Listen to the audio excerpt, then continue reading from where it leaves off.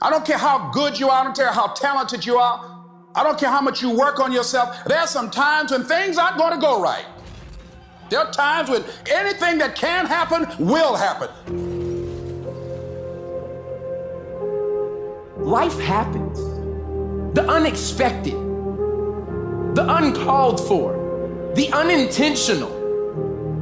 We've been damaged emotionally, damaged spiritually. It may be your business. It may be your heart that is broken today. It may be the number in your bank account that is screaming, You are broke.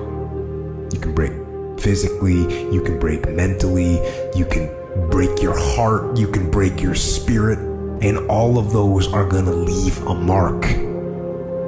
But the mark that they leave can be the mark of victory or it can be the mark of defeat. It is staying with the breaking that produces the blessing. It is not what you go through that determines where you end up. It's who you listen to. Because I think right now, you are walking through a valley between two voices. One is wisdom, one is worry. One is gratitude, one is grumbling. One is blame, one is faith.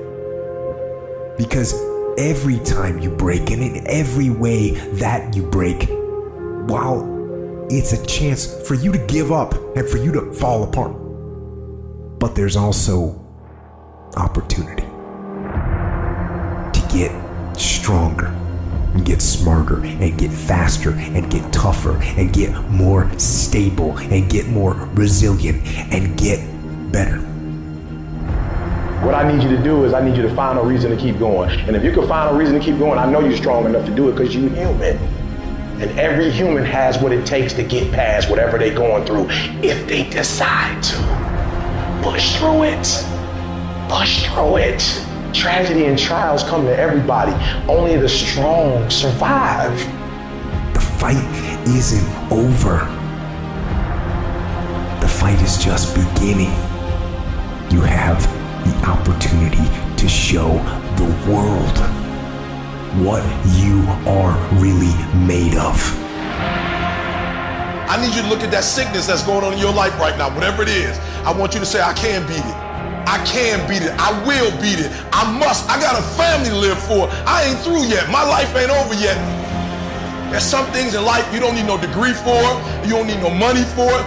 You don't need no support for it. There's something in life you just gonna get through when you tell yourself, I'm gonna get through this.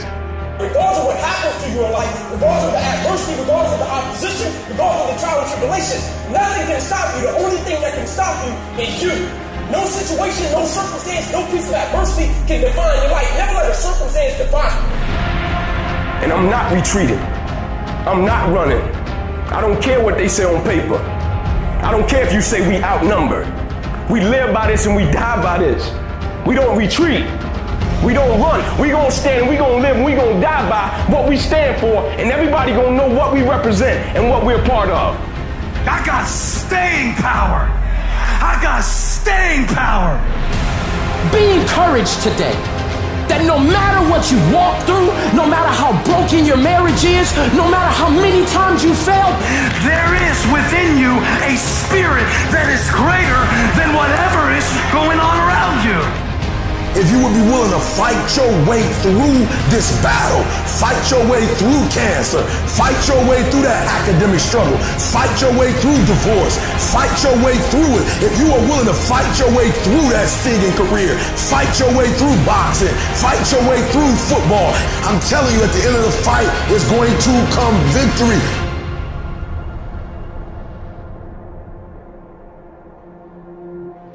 As you crawl up and out of that dismal and wretched place, as you rise above what you were, and as you take the form of who you are supposed to be, you will see that in the very act of standing up, in the very act of fighting on, you will become and you will remain unbroken.